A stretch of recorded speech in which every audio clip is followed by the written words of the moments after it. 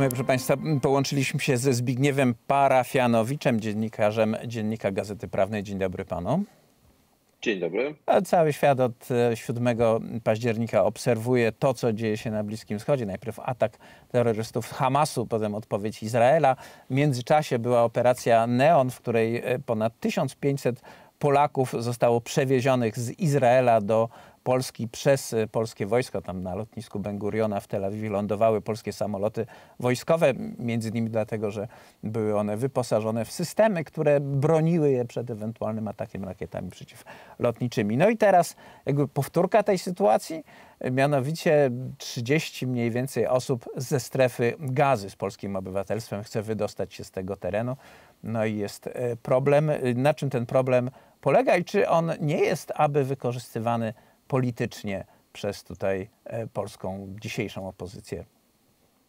Ten problem z ewakuacją e, ludności cywilnej z paszportami polskimi ze strefy gazy e, jest zupełnie innej natury niż ewakuacja z Izraela poprzez lotnisko Ben Guriona, czy wcześniej w 2020 roku w sierpniu ewakuacja współpracowników polskich z lotniska imienia Hamida Karzaja w Kabulu strefa gazy jest e, odcięta od świata i to, czy ktoś z niej wyjedzie, czy nie, e, nie zależy e, w, w gruncie rzeczy nawet od władz Izraela, tylko od władz Egiptu, od tego, czy otworzą przejście graniczne, czy tego przejścia nie otworzą. Jakaś, nie, jakieś niewielkie grupy ludzi przedostawały już się przez przejście graniczne z Egiptem.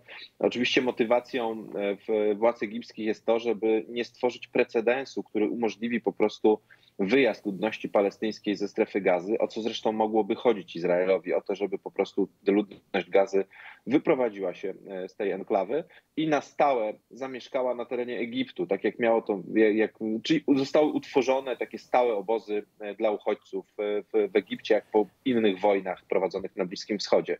Także tutaj te możliwości rządu polskiego są ograniczone i byłyby ograniczone niezależnie od tego, kto rządzi.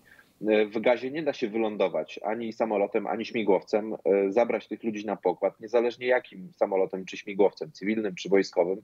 Nie da się tych ludzi zabrać i po prostu wywieźć. To nawet nie jest sytuacja porównywalna do tego, co się działo e, w Kabulu, bo mimo wszystko e, koalicja NATO była jakoś dogadana z talibami na procedurę ewakuacji tych, których, którzy chcieli Afganistan opuścić. Polska ma pewną specjalizację w tych ewakuacjach. W zasadzie Afganistan był pierwszą taką operację, operacją, którą Polska przeprowadziła samodzielnie i to wzorcowo z sukcesem, bez ofiar e, po stronie e, obywateli polskich.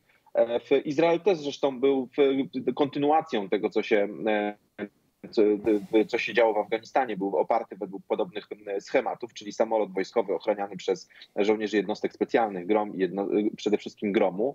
E, w, w gazie to jest nie do powtórzenia. W, te, tak samo w Egipcie. Dopóki, w, dopóki Egipt nie otworzy przejścia granicznego, e, w zasadzie niewiele da się tu zrobić. E, ta krytyka pod adresem władz polskich rzeczywiście ona nie ma jakichś racjonalnych podstaw E, to jest jakiś tam, jakaś część polityki na pewno. No to jest też chuligańskie prawo opozycji, która idzie do władzy, żeby krytykować za wszystko i e, w sposób radykalny e, ustępujący rząd. Natomiast obiektywnie polskie władze no nie, nie, nie mogą zbyt wiele zrobić, żeby wymusić na władzach Egiptu otwarcie tego przejścia granicznego. No, Amerykanie nie mogą tego zrobić efektywnie.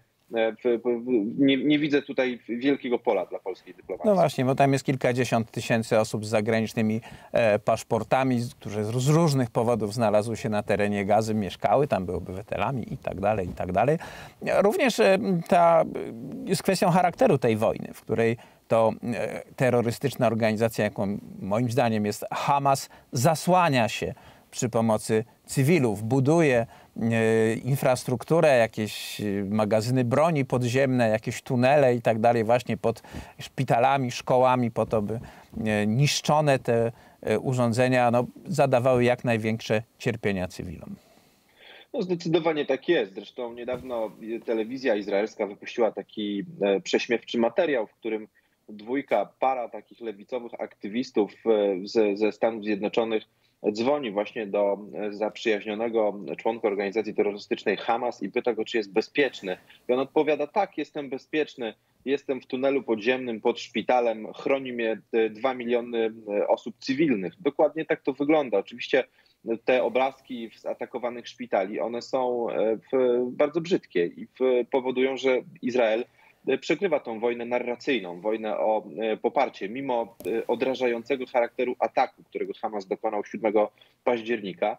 W zasadzie o tym rajdzie terrorystycznym, o porwanych nawet obywatelach Izraela, e, nikt już nie mówi. Wszystko, co jest teraz istotne, to są, to są właśnie te bombardowane budynki, budynki, w których kryje się Hamas, czy ataki na obozy dla uchodźców. To też jest standardem organizacji palestyńskich, że wykorzystują obozy dla uchodźców jako centra e, dowodzenia.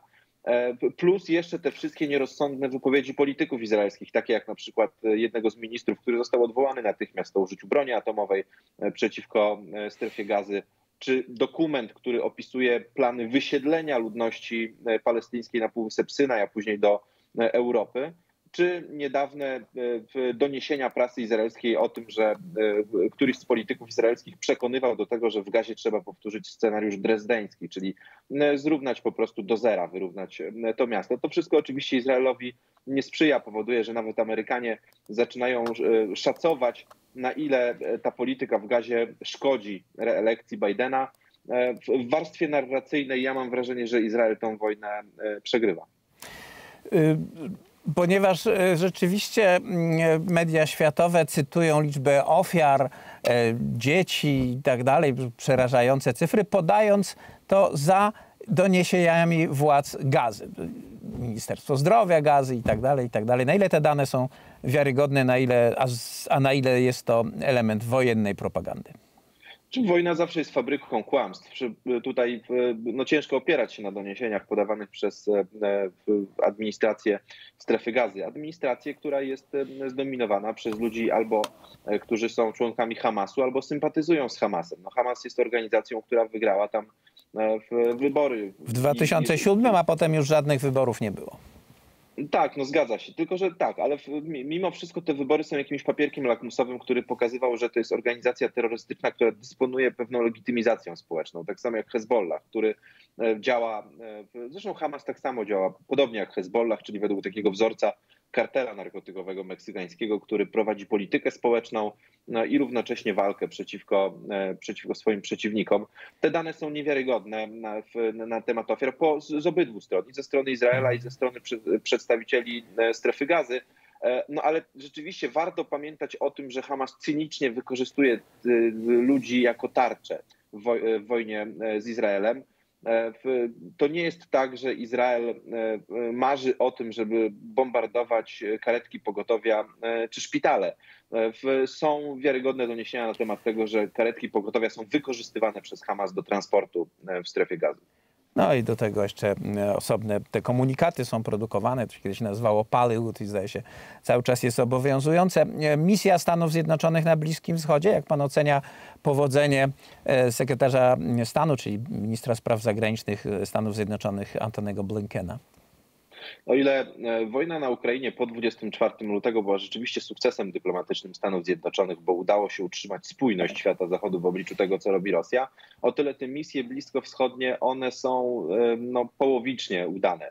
O ile rzeczywiście e, w Saudowie na przykład bardzo wyraźnie da się wyczuć, że Saudowie są zainteresowani nieeskalowaniem tego, co się dzieje na Bliskim Wschodzie. To jest państwo, które E, wymyśliło sobie nowy model rozwoju. Arabia Saudyjska ma być czymś takim jak Zjednoczone Emiraty Arabskie na sterydach, czyli takim dużym państwem oferującym usługi turystyczne, sport na wysokim poziomie, walki bokserskie czy przedstawianie Ronaldo. E, ma ekskluzywne linie lotnicze, takie jak linie z pozostałych państw Zatoki. I to jest państwo absolutnie niezainteresowane tym, żeby ta wojna przyjęła zmieniła się w wojnę regionalną. I tutaj pewne sukcesy amerykańska dyplomacja e, notuje w, w, w, w negocjowaniu, w rozmawianiu z, z, Saudami. Pozostałe kraje są sceptyczne. No oczywiście jeszcze Zjednoczone Emiraty Arabskie również są zainteresowane tym, żeby to się nie rozlewało e, dalej, czyli ta sunnicka część Bliskiego Wschodu, ale już wszystkie te państwa, w których są e, irańskie proxy, E, to, to, to jest brak albo brak kanału komunikacji ze strony Amerykanów, czy no, wizyta na przykład w Iraku no była nieudana. To była wizyta skupiona na takim celu minimum, czyli zabezpieczeniu tego, żeby nie spadały drony ani pociski na bazy amerykańskie, które nadal w, w Iraku są. Ale jeśli chodzi na przykład o Turcję, to też to jest raczej umiarkowany rezultat. Na kilkudziesięciu amerykańskich żołnierzy zostało rannych. W takim wypadku dwie osoby ciężko trafiły do bazy w Niemczech, by przejść jakąś gwałtowną e, procedury zdrowotne. Drugą, czy, bo to jest taka teoria mówiąca o tym, że ten atak Hamasu na Izrael był po to, żeby właśnie odciągnąć uwagę Stanów Zjednoczonych od Ukrainy. Jeśli no bo wydaje się, że to się właśnie dzieje, tak? że Ukraina zeszła na drugi plan i ten brutalny konflikt, który Rosjanie prowadzą od prawie dwóch lat, no już w mediach nie ma miejsca na dwa takie wielkie, dramatyczne wydarzenia. No zgadza się. To jest też wojna o uwagę z, z oczywistych powodów. Ja nie wierzę w to, że to zostało wywołane intencjonalnie po to, żeby odciągnąć uwagę od Ukrainy. Po prostu żyjemy w epoce wojen i tych teatrów działań na, na, na całym globie jest bardzo wiele. No, kolejnym takim punktem zapalnym, który może nas zaskoczyć któregoś dnia jest na przykład cieśnina tajwańska, czy w ogóle to, co dzieje się w Azji Południowo-Wschodniej. Na to też trzeba patrzeć e, z uwagą. Amerykanie to wiedzą i w, też rozumieją to, że tą wojnę w Europie, wojnę, która e, przeszła, w to, zresztą jak przyznał generał Załużny, w fazę pozycyjną, w fazę takiego szarpania e, na Ukrainie, że tą wojną będą, będzie musiała zarządzić Europa, bo Ameryka, e, Ameryce może po prostu nie starczyć sił i środków na to, żeby długotrwale prowadzić długą wojnę na Ukrainie i wytracać tym samym szansę Bidena na reelekcję. Bidena, który w sondażach zaczyna jednoznacznie przegrywać z Donaldem e, Trumpem. To, co się dzieje w Europie, zostało outsourcowane do Niemiec, które są postrzegane w Stanach Zjednoczonych jako państwo, które tym konfliktem potrafi e, zarządzić, albo przynajmniej zna logikę tego, jak go można zamrozić. Co z punktu widzenia Ukrainy, ale też i Polski jest oczywiście złą informacją, bo zamro jakiekolwiek zamrożenie konfliktu na Ukrainie oznacza tylko tyle, że za kilka lat Rosjanie uderzą ponownie, e, dalej będą chcieli e, iść w, w kierunku odcięcia Ukrainy od Morza e, Czarnego tym razem. Także to jest jak najbardziej niekorzystna informacja z punktu widzenia Warszawy. O ile oczywiście nie zmieni się wewnętrzna dynamika w Rosji, to zostańmy przy Ukrainie pan powiedział, że mm, wspomniał ten teksty czy, czy y, komentarz z The Economista, w którym generał Załużny rzeczywiście przedstawia, że no nie da się w tej chwili prowadzić działalności ofensywnej. No i często Ukraina jest jakby krytykowana, że o, nie udało się, nie udało się pokonać Rosji, ale przecież Ukrainie udało się powstrzymać armię rosyjską, no najpotężniejszą, najbardziej bezwzględną armię świata, która nie jest w stanie nie była w stanie zdobycia, osiągnięcia jakichś zdecydowanych e, przewag na tym terenie. No oczywiście, to jest, ta, ta krytyka jest radykalnie przesadzona. Ukraińcy w wojnie lądowej pokonali drugą armię świata i to, to jest wydarzenie historyczne. To odepchnięcie ich spod Kijowa, niepozwolenie im na wejście do Kijowa, odepchnięcie ich spod Charkowa, niepozwolenie na zajęcie, że w zasadzie zajęli tylko jedno miasto obwodowe to był Hersoń, z którego zostali wyparci w listopadzie ubiegłego roku. To jest jednak ogromna porażka. 150 tysięcy ofiar, o których mówi generał Załużny, nawet zakładając, że jest to liczba zawyżona i e, propagandowa, przecież to są jakieś ogromne, ogromne straty. To jest e, sytuacja porównywalna tylko z porażką Sowietów w Afganistanie E, oczywiście e, obecna Rosja nie jest na etapie takiego rozkładu jak e, Związek Radziecki w 1989 roku, także to nie może wpływać na decyzje na froncie. To też o tym mówi Załużny, że przeszacował te opcje z, z zadawaniem strat Rosji, Rosjanom i spowodowaniem tego, że się wycofają. Ale Ukraińcy tak, Ukraińcy wygrali wojnę lądową z Rosjanami. Udało im się okopać swoje pozycje i bronić swojego państwa przed zalewem wojsk rosyjskich to, że w tej kontrofensywie nie było postępu, rzeczywiście to był, to był poker, to, to, to, to, to był hazard, to co się zaczęło dziać w czerwcu tego roku, czyli ta kontrofensywa. No, hazard w tym sensie, że rozpoczęto kontrofensywę bez wsparcia z powietrza, czyli bez samolotów, które mogły zabezpieczyć teren dla nacierających kolumn pancernych i zmechanizowanych. E, I no, rezultat, no ciężko powiedzieć, że rezultat był łatwy do przewidzenia, bo jak, no, jak rozumiem, Ukraińcy liczyli na ten taki dalszy rozkład postępujący w siłach rosyjskich i po prostu to przełamanie mhm. miało wynikać z tego, że armia rosyjska jest niesprawna. No to niestety te kalkulacje się nie powiodły. Natomiast to nie jest wina tylko Ukraińców. Były obiektywne e, warunki do tego, żeby ta kontrofensywa się nie powiodła. No przy okazji okazało się, że te wlewanie w grunt y, ogromnych ilości betonu, żelaza rzeczywiście działa i te umocnienia są nie do przejścia. Tak z jednej, jak i z drugiej strony zresztą, bo też ten kontratak pod Awdijewką to e, udowodnił. Ukraina, a Polska. Do e, wiosny e, tego roku była taka oś ukraińsko-polska i ta bliska współpraca wzmacniała politycznie oba kraje. Kto tą współpracę zerwał i jakie korzyści z tego tytułu politycznie odniósł? No co nam mówi dzisiejsza sytuacja, kiedy i, i, i międzynarodowy standing Ukrainy i Polski jest znacznie niższy niż jeszcze rok temu.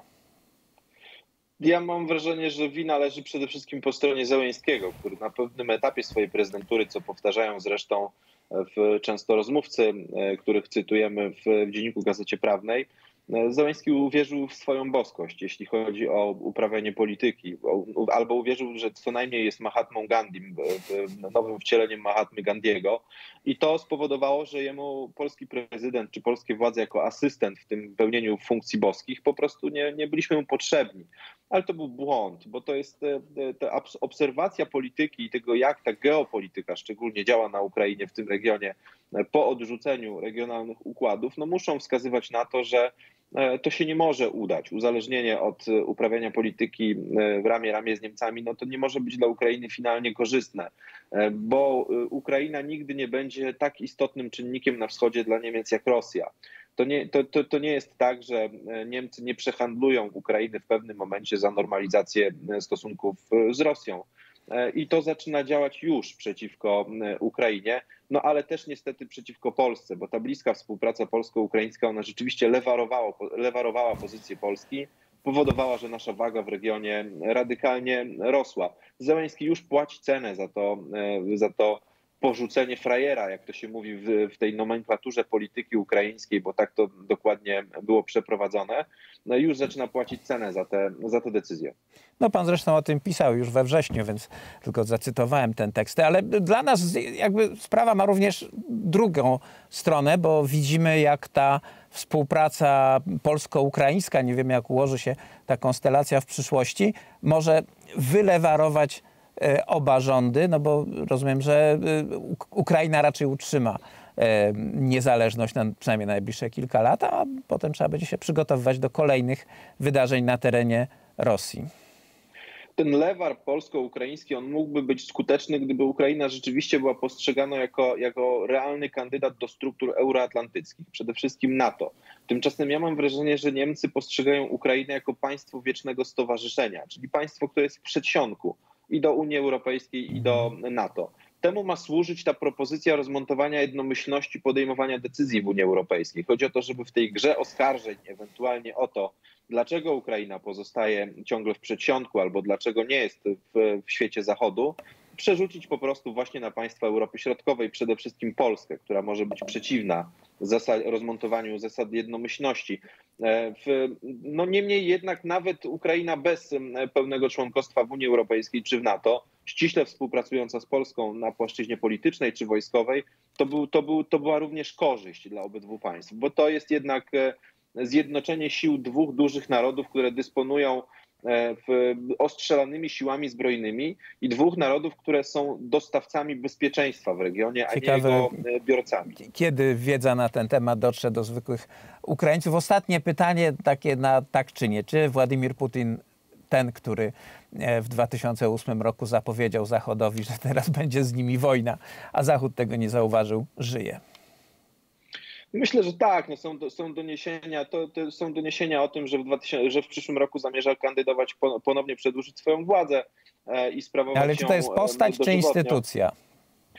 No to jest e, w, w, rzeczywiście, no on, on reprezentuje, to, to jest spółdzielnia. On reprezentuje pewien układ władzy, e, w, w którym na, na, na samej górze jest właśnie klan rodzinny Putina ale ta sytuacja też na Ukrainie powoduje, że jego sytuacja, że, że jego pozycja w układzie władzy mam wrażenie się wzmocniła. Czyli Putina jakkolwiek, czy żyje, czy nie żyje, czy ma e, tych e, dublerów, nie można w tej chwili usunąć, więc no, tak, może dowiemy owak, się. Tak czy owak Zdzisław Nowak, jak to się Zbigniew Parfianowicz, Dziennik Gazeta Prawna. Bardzo pięknie dziękuję za tą rozmowę, kłaniamy się nisko. Dziękuję. A my, proszę Państwa, za kilka chwil kolejna rozmowa. Tymczasem, tym razem będzie to Mateusz Wyrwich, e, Tygodnik Niedziela.